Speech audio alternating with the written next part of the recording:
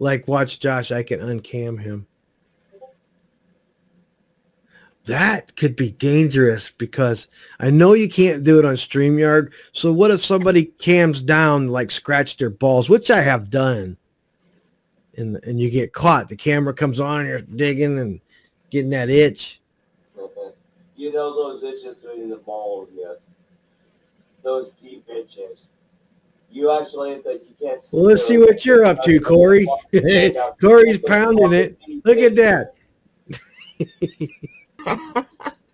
he was stroking it. Shot. he was laying there Jesus stroking it. Did you Christ. see Yeah, that yeah, covers bouncing? yeah, Those fucking deep itches. That's disgusting, bro. that was funny.